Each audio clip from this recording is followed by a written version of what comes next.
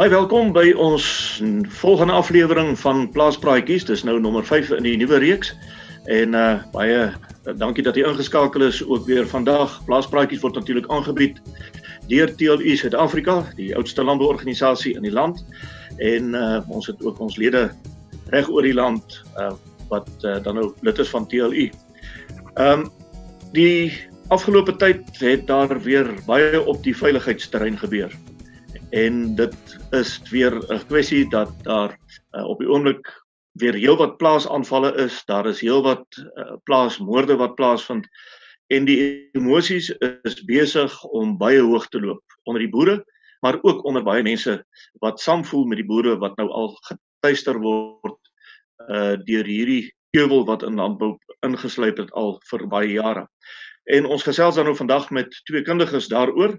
Ons gesels met Henry Geldenhuys. Hy is die adjunkpresident van TLU Suid-Afrika en hy is dan ook die voorsitter van TLU as 'n veiligheidskomitee. Henry, uh, goeiedag en baie welkom. Goeiedag Henry.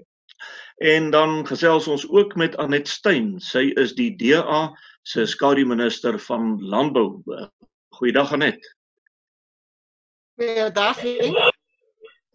Nou sê ja, net. Nou ja, ons wil daarom ons wil daarom nou net gou 'n paar dinge net regstel. Ehm um, al lyk dit of Anet nou by die see is, is sy nie by die see nie. Uh sy is ook op hierdie stadium 'n boervrou en sy is daarso in die Venterstad omgewing. Ek weet nou nie of dit nou deesdae Oos-Kaap of Noord-Kaap is daar nie. Maar sy is op 'n plaas en Henry het eh, daar sê en Henry uh, praat daarso van Ermelose wêreld af, daar van uh, TLUS as Ooststreek af. Uh en ek self is hierso in die Noordstreek hier by Warmbad so Ons is almal op die plase en ek dink almal van ons beleef hierdie plaasaanvalle en hierdie plaasmoorde baie intensief. Henry, jy is voorsitter van die veiligheidskomitee van TLC Suid-Afrika. Wat is jou heel eerste kommentaar op wat op die oomblik nou weer in die land aangaan? Ek baie dankie. Uh dink misdaad in ons land is verseker buite beheer. As ons gaan kyk na statistieke uh binne TLU wat betref plaasaanvalle en plaasmoorde, verseker. Gaan kyk ons na algemene misdaad soos diefstalle van landbouprodukte. Verseker veediefstal en dan as ons gaan kyk na die algemene moordsyfer daagliks in ons land, bykans 60 mense wat vermoor word. Bevestig ek weer en sê, misdaad in ons land is buite beheer. Anet, uh, jy is nou by landbou betrokke nou van die politieke perspektief af en jy het ook nou 'n nuwe aksie geloods. Ehm um, wat behels dit?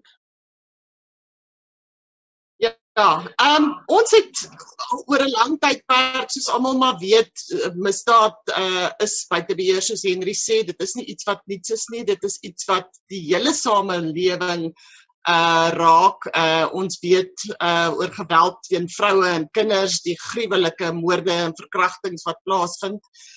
En daarom het ons by oor 'n lang tydperk eintlik gedink oor hoe ons dit moet hanteer om spesifiek dan die klem op wat in die landboubedryf gebeur te plaas. Uh binne in hierdie moeilike prentjie waar rondom almal sê maar misdaad raak ons almal hoe plaas ons dan spesifiek die fokus rondom wat op landbou gebeur.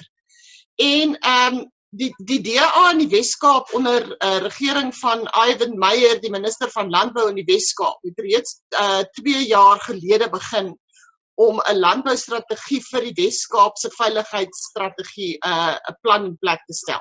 En dit was basies die die beginpunt van van ons denkrigting um rondom wat ons nou wil doen om om hernieude druk op die regering te plaas oor die die die veiligheid in landbou. So dit het eintlik 'n bietjie gekom oor wat ons doen in die in die Wes-Kaap en 'n paar planne wat ons daar in plek gestel het en wat ons nou wil uitreik 'n uh, rol in in uh, ander provinsies. En wat behels daardie planne? Heel belangrikste van die van die aktiewe planne sal ek amper sê is nou uh om te kyk na die die die die hart uh spraak uitspraak misdade wat wat saam met dit gaan veral op sosiale media uh waar dit geïdentifiseer is wanneer daar so 'n aanval plaasgevind is en en waar mense dan kommentaar lewer om te sê dis goed so maak meer dood of jy weet al daai tipe van kommentare wat ons sien uh daai mense aangekla te kry maar ook uh wat ons wel gevind het is soos in baie ander gevalle van misdaad is dat daar word 'n moord gepleeg op 'n gruwelike wyse die persoon word dalk miskien of persone word miskien aangekeer maar hulle beland net nooit uh uh in die hof nie. Daar is net nooit 'n uitspraak nie. Dit weet um uh, in die Wes-Kaap spesifiek een van die goed wat hulle begin het is wat ons noem 'n uh, 'n uh, uh, briefing watching brief uh uh waar sodra so 'n misdaad plaasgevind word, uh een of ander lid van die DA betrokke raak, die saaknommer kry, dit opvolg met die polisie, dit opvolg om te kyk of beland dit in die hof, dit opvolg om te sien dat dit nie aan mekaar uitgestel word nie en dat daar wanneer die uh die die sake dan voor die hof verskyn dit vinniger afgehandel kan word omdat ons moniteer of daai daai hofsaak voortgaan en dan om te vra dat daar 'n uh, 'n uh, swaarder uh, klag is, miskien lewenslange klag uh na na aanleiding van die tipe van geweld wat wat plaasgevind het uh, gedurende hierdie misdade. Um ons sien dat dit wel um positiewe resultate toon in die Wes-Kaap uh die Weskaap regering het ook 'n land hulle eie landelike veiligheidsplan uh in plek gestel onder die Weskaap regering. Ons weet polisie is 'n nasionale uh uh uh regerings uh uh funksie, maar die Weskaap het hulle eie planne in plek gestel waar hulle kyk na uh sekere hotspot areas waar hulle uh gaan help om te kyk na radiostelsels, kommunikasie, direkte kommunikasie en en om groepe met mekaar in in aanraking te bring. Uh, môre gaan die stad Kaapstad ook hulle hulle hulle uh landelike veiligheidsplan vir die stad in in werking stel. Ek het gesê vir vir die DA dat ons kan nie dink plase is goed wat nie uh, jy weet in stede is nie daar is stedelike daar's landelike daar's plaasgebiede binne in in in munisipale uh, munisipale areas so môre gaan die stad Kaapstad hulle spesifieke plan vir Kaapstad uh dan ook voorstel wat sal insluit ek, ekstra uh mense wat dan opgelei gaan word om in groepe te werk om spesifieke areas te patrolleer radiostelsels en ander kommunikasiestelsels uh wat hulle dan in in plek gaan sit om die landelike gebiede te beveilig. O, ons sien, ons sien dat uh daar toename is verseker in die Wes-Kaap ook um in in hierdie tipe van misdaad. En en selfs diefstal. Dis nie altyd moord nie, maar ek diefstal is verseker 'n groot probleem. Henry TLU is nou al as ek reg is van 1993 af het hy al sy veiligheidslesenaar gevestig. So dit kom al 'n hele klompe jare. Ehm um, wat is die maatreëls wat TLU ingestel het uh om dan hierdie hierdie hele probleem aan te spreek? Dink ja, jy verwys na 93 as ons na ons uh, TLU se statistiek gaan kyk, dan begin dit alreeds in 1990. En ek wil dalk so 'n bietjie die horlosie terugdraai en na myself verwys nie dat ek nou so belangrik is nie, maar wat op grondvlak gebeur het. Uh ons het misdaad sien toeneem in landelike gebiede alreeds voor uh 1993 en my eie plaaswag wat ek in samewerking met my broer en 'n uh, daai tyd nog die SAP by name kolonel Snyders van Erno gestig het in Maart 1993. Uh omdat ons gesien het dit dit raak nodig. Op daai stadium uh het 'n klompie boere bymekaar gekom en dis gestig. Ons wou by die ou komandosisteem inskakel. Navraag gedoen. Ons kon nie hulle kon nie ons leers opspoor by die weermag nie. En ons het toe ongeveer 10 boere by die reserviste stelsel aangesluit. En in al die tyd van daai tyd tot vandag was mense betrokke by baie voorvalle, insidente, arrestasies en selfs skietvoorvalle en jy het gesien elke jaar hoe styg misdaad. En ons kan vandag sekerlik sê dat TLSA se moordsyfer glo ek is baie naby aan reg. Ons glo dat ons plaas aanvalle syfer laer is omdat ons nie altyd 'n voetspoor en rapportering daaroor het nie of minder ernstige voorvalle wat nie in die media gehaal het oor tyd nie. So verseker het ons opgebou na vandag toe en is daar 'n klomp planne in plek. TLSA het ook al reeds 'n paar jaar gelede gesê Ons werk saam met alle ander organisasies. Ons kan nie meer alleen funksioneer nie.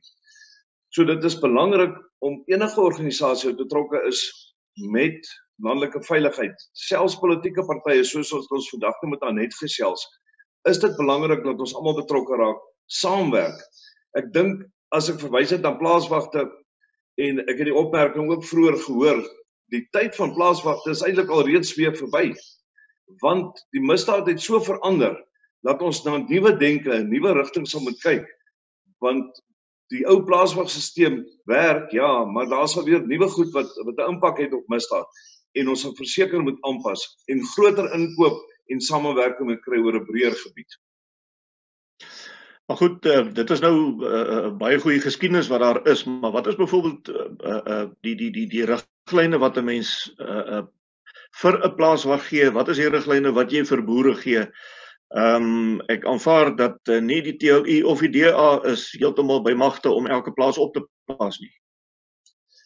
Belangrike vraag daai Henk. Ons kan seker optogte hou elke dag. Ons kan bewusmaking in die buiteland doen. Ons kan dit die media haal elke dag met al hierdie goed. Plaasveiligheid begin by myself.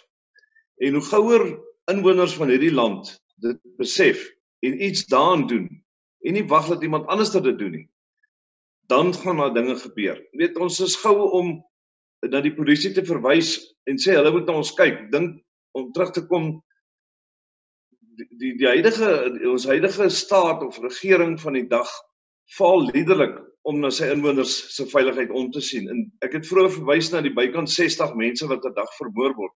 En dis mense van alle bevolkingsgroepe. En en en daarom moet ons gemeenskappe wit, swart, almal betrokke in hierdie land betrokke raak en iets probeer doen, iets nuuts doen. Om terug te kom tot wat ek sê dat ons moet by onsself begin uh daar moet oordentlike gebeurlikheidsbeplanning binne in 'n huisgesin plaasvind. Uh oordentlike ondersoek gedoen word oor wat doen ek, wanneer en hoe doen ek dit en hierdie gedagte moet uitbrei na my buurman toe, ook binne my boerevereniging of plaaswag of buurtwag en dan ook in my groter gebied. En soos Anet al reeds verwys het, kommunikasie is seker een van die die beginpunte van hierdie hele stelsel. Dit is een van die belangrikste goed en ons kan nie staat maak byvoorbeeld op selfone nie. Radiokommunikasie, alarms en dit bring my by 'n volgende ding en dis die verharding van hierdie huis tesame met hierdie gebeurlikheidsplanne. Ongelukkig kos tegnologie en verharding 'n klomp geld. Boere is al reeds vuisfoos en ons sit met landbou wat deur droogte uh, prosesse gaan en daar is net nie geld vir hierdie goed nie. So ons moet gaan prakties dink en soveel as moontlik plek goed in plek stel om ons te beveilig by die huis. Maar soos ek sê, ek is eintlik ek wil eintlik amper sê dat daar's 'n groepering daar buite wat geld maak uit misdaad uit deur produkte op die mark te stel onbekostigbaar hoog vir boere om iets aan hulle veiligheid te doen. En daai ding sal moet verander. Ek wil amper sê ons moet 'n nasionale kompetisie uitroep soos die uh kompetisie by Nampo waar uh goed ontwikkel word wat prakties moontlik is soos soos 'n alarmstelsel wat goedkoop gebou kan word om om sulke goed terug te bring of ons sal moet gaan kyk na insetverskaffers wat werklik tafel te kom en dit vir ons meer bekostigbaar maak. Ek kyk nou sommer na na, na ander goed soos uh versekerings, mediese kostes, al daai goed ons ons wil regtig en ons het dit al reeds gedoen in die verlede om vir almal te sê kom ons vat hande insetverskaffers organisasies. Kom ons kry hierdie bekostigbare mediese skema of trauma versekering en 'n mediese ding dat ons ten minste 'n helikopter op die, op die grond kan kry. Kom ons kry daai goed in plek. Selfs om geld in te samel om om boere meer finansiëel by te staan op grondvlak. Kom ek vat net maar sommer 'n protospan wat binne 'n boerevereniging opereer. Uh net om daai die ander woord maar is 'n reaksiegroep binne 'n plaaswag. Net om daai mense op 'n vlak te kry om te kan reageer, kos dit klomp geld van 'n koelvaste baadjie, vuurwapens, ligte, flitsse, uh nagsig, fleur toerusting. Dis 'n klomp geld en dit kom uit boere se eie sak uit. En dan raak hierdie protoespanne nog betrokke by by by by lewensgevaarlike toestande. Kyk, hy moet homself dan nou gaan blootstel aan moontlike vervolging om seer te kry by so 'n toneel om selfs dood te gaan. En dis die hartseer van die ding. Die volgende ding wat ek net wil aanraak is in al hierdie planne en, en goed wat ons op plek moet stel is is daar's 'n gesindheidsprobleem onder ons mense. Solank dit net nie met my gebeur nie, dan hoef ek niks te doen nie. En dit maak in my verhouding is altyd 10%, 90%. 10% van 'n gemeenskap is altyd betrokke, is daar raak betrokke by skool, kerk en met veiligheid. Maar hy het 'n verantwoordelikheid van van 90% van die bevolking of sy omgewing se mense. En dis eintlik oralster so, selfs in buurtwagte. En daai daai prentjies moet verander en ek sê weer, ons gaan moet self verantwoordelikheid vat vir ons eie veiligheid. Anet, uh, Henry het nou baie klem gelê op die koste aspek van beveiliging. En ons sien nou en julle sal daar in die parlement waarskynlik baie meer weet daarvan as ons. Die regering het altyd geld vir alles. Maar daar is nooit geld vir beveiliging van boere nie. En as ons nou nog uh, gesien het in met die met die met die droogtehulp wat daar nou was, uh toe die boere deur die geweldige droogte gegaan het en ook met die inperkingstydperk dat daar word uh, baie selektief op 'n rassebasis geld uitgegee en ehm um, dit lyk of die tradisionele kommersiële boer nie een van die begunstigdes daarvan is nie. Kan dit verander? Ja, uh, dis dis 'n baie relevante vraag. Ehm um, ek dink ehm um, uh, daar is 'n vraag gevra aan die president die ander dag in die parlement deur uh Pieter Groenewald oor uh hulp wat gegee is en ek dink die antwoord van die president was vir as jy gaan kyk wat het voor uh 1994 gebeur dan is daar mos uh reeds hulp gegee aan 'n sekere rassegroep in Suid-Afrika. So ek dink ons het die antwoord gekry. Ons sien dit met uh soos jy reeds genoem het met alle hulppakkette en en wat wat op die oomblik bekendstel gestaan word. Ehm um, uh, ek dink ehm um, Henry het het, het so half die die uh spyker op die kop geslaan dat 'n mens moet gaan kyk na groter uh samewerking tussen organisasies. Wat wat doen ons koöperasies byvoorbeeld? Wat doen ons versekeringsmaatskappye? Ehm um, ek was in in Desember en ek beloof ek het nie COVID Suid-Afrika toe gebring nie, was ek in in China wat 'n verskriklike interessante ervaring was. Maar hulle het byvoorbeeld ehm um, in uh op al hulle hoofroetes het hulle het hulle uh, tolhekke nie dat ek uh, aanbeveel dat tolhekke moet kom nie maar as jy net nader beweeg uh word daar 'n foto geneem van jou gesig so ook van jou voertuig se registrasienommer. En daar is beheerkamers reg oor uh uh China um so niemand beweeg rond daar sonder dat die Chinese regering nie weet wie beweeg waar en hoekom hy daar is nie. Jy weet um ek dink nou maar net almal is reeds besig om om veiligheidsstelsels in plek te sit, kameras op te sit, allerlei goeders, maar op watter stadium gaan ons kom dat dit onder een beheer val, onder een landelike veiligheidsplan wat deur iemand uh gesamentlik beheer word dat 'n mens hierdie kostes begin dek. Dit kan ehm um, ek ek is in gesprekvoering. Ons weet almal nou van die groot vragmotorvoertuie wat aan die brand gesteek word. Ons moet nie net dink oor landbou nie. Ons moet ook dink aan ander organisasies, mense wat ook deur hierdie uh misdaad geraak word en dat daai dat daar meer planne op plek gestel word dat ons almal begin help onder dieselfde. Ek ek ek stem saam. Ek dink die land, die regering gaan ons nie help nie. Ehm um, ons sal moet uh bietjie verder dink, weier dink.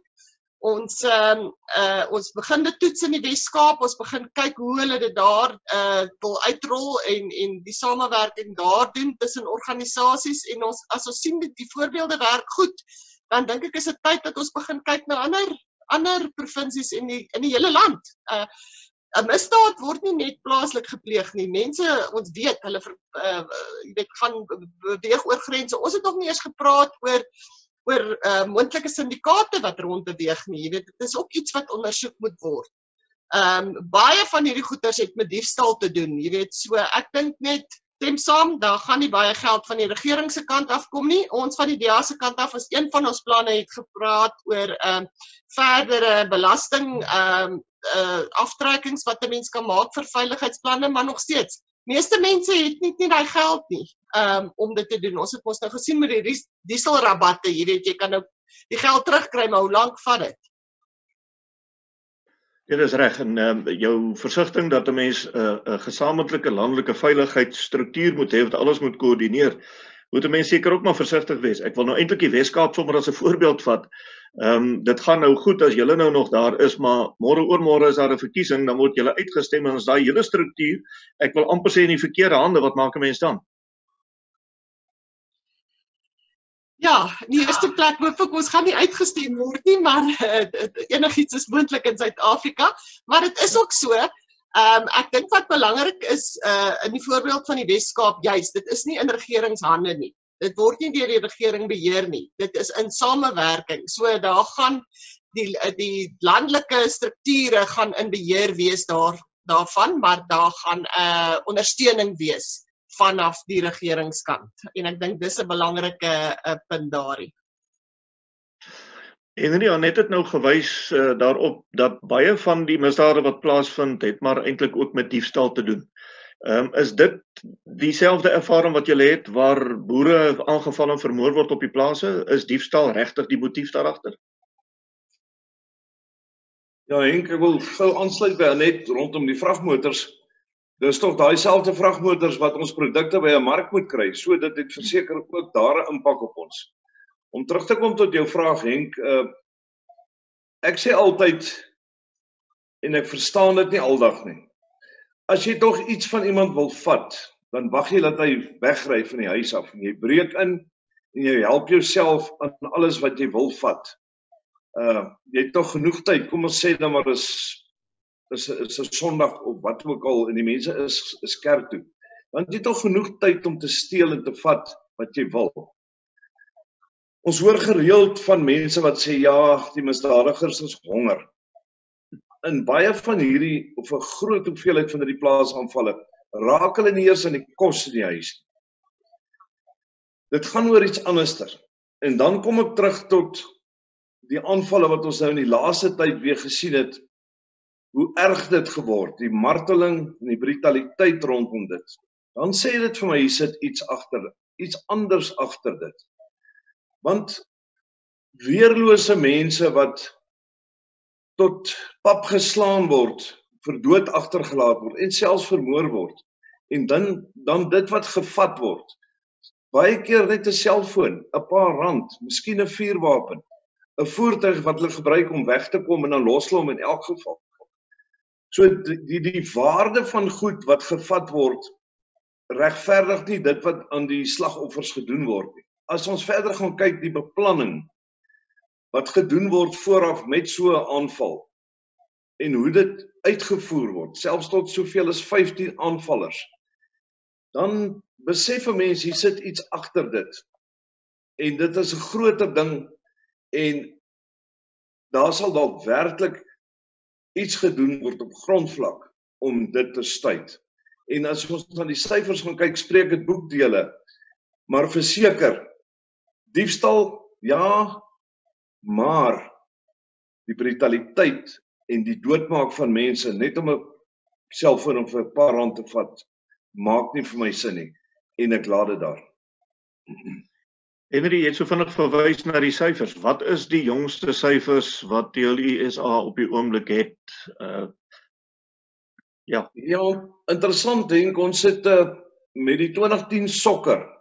Het ons byvoorbeeld in die maand wat die sokker was, het ons geen plaasaanval of moorde aangeteken nie. Lyk my almal het toe sokker gekyk of die misdadigers het almal sokker gekyk. Maar van toe af het ons 'n stelselmatige stygings gehad tot en met vandag. En as ek net vanjaar se syfers kan noem, dan staan ons al reeds op 155 aangetekende aanvalle en 30 moorde. En in die inperkingstyd was daar 'n versekerde afname. Daar was 'n redelike hoeveelheid voor die inperking, 'n afname met die inperking en lyk my hierso so rondom die die derde vlak Toe het ons 'n geweldige stygings gesien en ek gaan so vinnig die syfers lees in my maand 17 aanvalle en 4 moorde.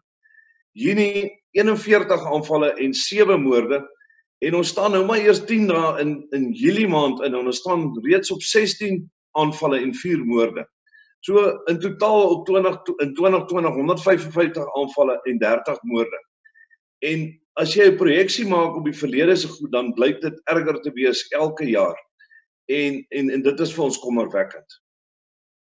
Henry, jy hou ook die statistiek by van van die ek wil amper sê die kategorie mense wat wat vermoor is. Uh jou jou jou boere, uh jou werkers en dan spesifiek probeer jy hom verder onderverdeel.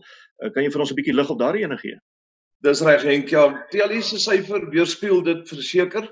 As ek dan so vinnig nou dit gaan kyk, as ons gaan kyk na boere en ek verdeel dan wit ten opsigte van ander etnisiteite. Dit sluit dan swart kleurlinge Indiërs in in die ander etnisiteite dan het ons boere verloor wit 1255 en swart oh nee kom ek sê dan eerder ander identiteite etnisiteite 78 direkte familie dit is dan die boer se vrou en kinders wit 490 ander etnisiteite 38 dan kom ons by werkers 30 wit werkers en 154 in die ander kategorie. Maar dan kry ons ook van tyd tot tyd besoekers wat plase besoek ten tye van of net voor so aanval. En op die witkant 26 en op die ander identiteit etnisiteit is 7. So ek dink mense moet besef dat ons syfer is nie net 'n wit syfer nie. Ons word baie keer daarvan beskuldig uh veral van regeringskant af dat hierdie syfer is net 'n wit syfer en dit is nie so erg nie. Dit is nie net 'n wit syfer nie. En daar het ek dit vir u genoem. Baie van hierdie werkers werk al vir baie jare by boere. Boere kom goed oor die weg. As 'n man tog nou sleg oor die weg kom met 'n boer, dan loop hy net. Hy werk nie langer daar nie. En dit is verseker so dat goeie werkers en goeie boere, maak nie saak van watter etnisiteit hulle is nie, word vermoor vandag op plase. En dit weerspieël ons binne in ons in ons in ons in ons, in ons syfers. Nee, as 'n mens nou tog gaan kyk en en uh, ek dink uh, as jy klaar is kan dan net ook gerus daarop reageer. As 'n mens nou gaan kyk na die syfers wat julle nou het ingesit is, uh, dan lyk dit of dit aan die einde van die dag wel min of meer 1700 wit is, is wat die slagoffers geword het teen kom ons sê 250 van die ander etnisiteite. Dan is dit tog ook 'n bepaalde patroon wat daar wat daar is. As 'n mens gaan kyk, die boere se se se uh uh in terme van die van die demografie van die samestelling van die bevolking is hierdie tog by verre 'n uitskieter na die verkeerde kant toe om dit dan so te stel. Nee, verseker, ek dink daar's baie kundiges wat dit uh, makliker kan uitsit per 100 000 of wat ook al as ons gaan kyk nou hoeveel boere daar is of hoeveel lede van die SAPD. So daar's slim manne wat hierdie syfers kan maak en verseker is die frekwensie op die aanvalle en die moorde spesifiek baie hoër onder onder die boere as mens gaan kyk hoeveel boere oor is op die stadium in die land. Wat 'n klomp kos produseer en kos op die tafel sorg vir 'n groot groepering van ons land se mense. Anet Ja, Henk, ehm um, dis een van die goeters waaroor ek bietjie versigtig is om myself uit te uit te spreek. Ek ek het al in die verlede daaroor gepraat. Ehm um, Die eerste rede is dat die syfer van 35000 of 40000 kommersiële boere word aan mekaar genoem. Maar niemand weet eintlik werklik hoeveel boere is daar in Suid-Afrika nie. En as ek nou praat van boere, praat ek van kommersiële boere. Ek praat nie van uh van uh, klein boere of of mense wat op op 'n uh, plotte of so 'n uh, boer nie wat ook eintlik by die bestaansboere wat ook by die uh, syfers inge inge ek weet julle hou die syfers apart en en en en ek dink is 'n goeie ding. Maar ek het al spesifiek 'n paar keer die vraag spesifiek gevra vir die regering. Uh die die die die syfers wat genoem word is die mense wat belasting betaal en dan hulle hulle um primêre inkomste stroom as landbou aandui. So daar kan dalk seker baie meer boere wees en en ek ek dink partykeer ek ek ek stry nie daaroor. Ons ons stem saam dat ek dink landbou en en die hoeveelheid boere wat vermoor word is is is baie hoog. Dit dis onaanvaarbaar hoog vir alles jy in ag neem dat dat iemand moet beweeg met 'n voorbedagte raad om op daai 'n plek te gaan 'n moord pleeg of wat hulle dan daar wil gaan doen op 'n plaas. Dit is abnormaal. Daar's daar's groot fout. Maar ek is 'n bietjie versigtig om die om die per 100 000 uh syfer statistiek te trek omdat ons nie 'n 'n presiese getal het van hoeveel kommersiële boere ons het nie. Ons weet dit. Ons weet dat 35 tussen 35 38 40 000 boere betaal belasting aan die regering en dis waar die staat daai syfer vandaan kry. Ehm um, ek weet daar was verlede jaar met baie druk uh weer 'n uh, 'n uh, poging gewees om 'n uh, spesifieke statistiek te doen op landbou. Uh mense met reg was uh toe dan uh versigtig om inligting deur te gee want ons is in 'n in 'n moeilike proses met onteiening onder vergoeding en mense is bang oor waaroor wa die stadie inligting wil hê maar ehm um, ja, daar daar is ek so bietjie meer versigtig om die per 100 000 uh verwysing te gebruik. Dink ek wil miskien ook jy Ekskuus. Kan jy net sê al het ek stem 100% met jou saam, dis hoekom ek dit ook nie genoem het nie. Ek dink ons kan net die horlosie so 'n bietjie terugdraai en gaan sê dat ons gaan ons gaan kyk dat die erge brutaliteit op hierdie aanvalle en moorde en dit wat gevat word dan is dit vir ja. ons kommerwekkend. Uh ja, daar is ander daar's ander moorde in ons land, verseker, ek meen ek verwys na 60 gedag en en baie van hierdie moorde stem stem nie ooreen met die brutaliteit wat op plaasaanvalle betrokke is. Ja. En daarom is ons bekommerd en daarom sê ek ook die frekwensie is baie hoër. Maak nie saak of dit nou per 100 000 of wat is nie. Dis ja. ongekend dat dat boere vermoor word en aangeval word en dit blyk te wees dat dit georganiseer is op wat watter wyse ook al en dit is vir ons aanvaarbaar. Ja. Ja, ek dink Henry uh ekskuus ek ja, da, ons stem 100% daaroor saam. Is die brutaliteit en hmm.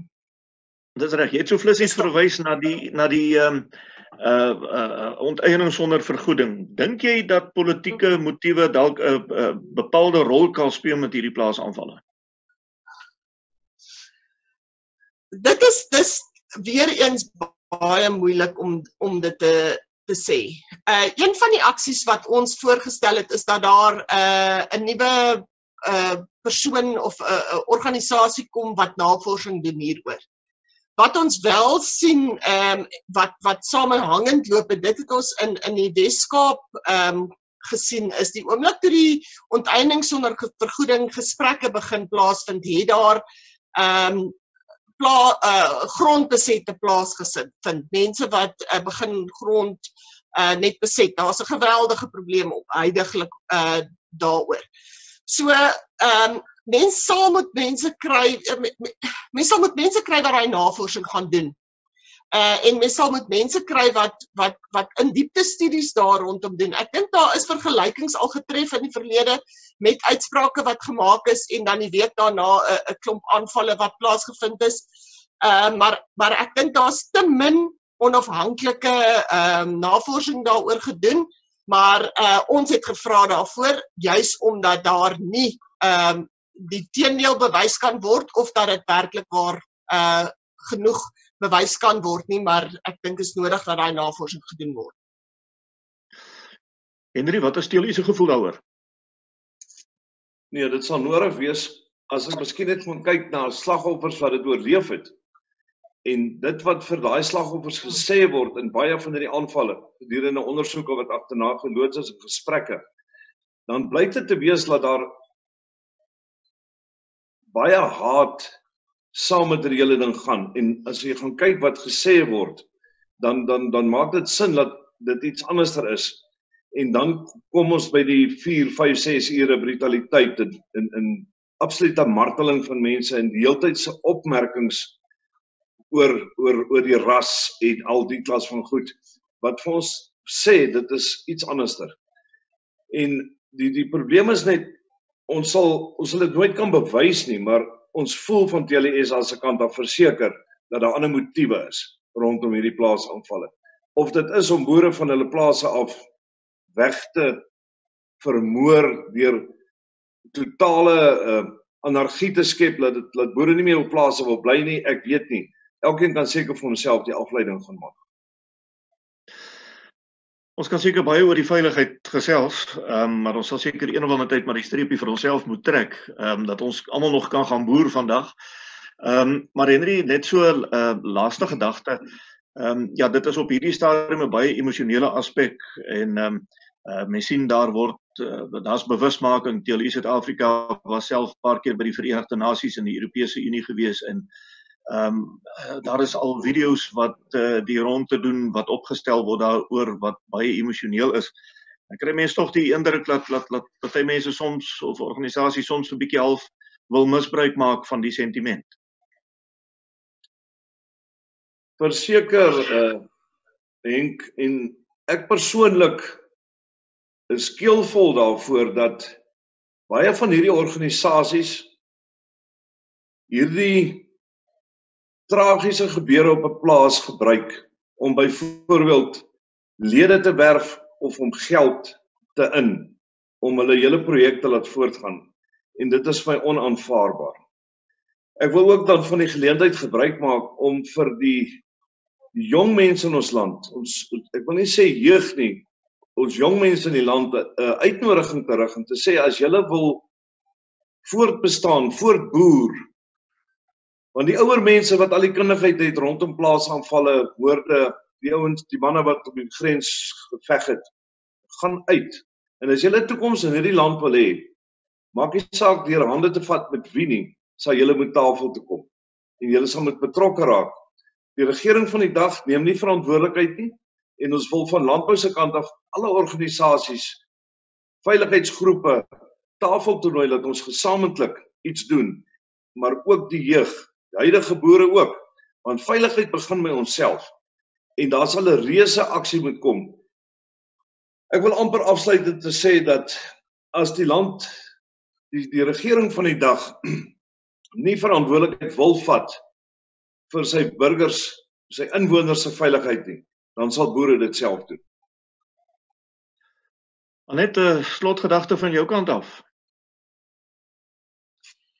Ja, ek dink Henry het baie uh dieselfde gedagtes van wat ek probeer sê het. Ek ek dink boere moet nie moedeloos raak nie. Dit is nie dat uh ek ek ek dink nie boere voel alleen in die magteloosheid of die moedeloosheid ten opsigte van die die houding van die regering van ons dag nie.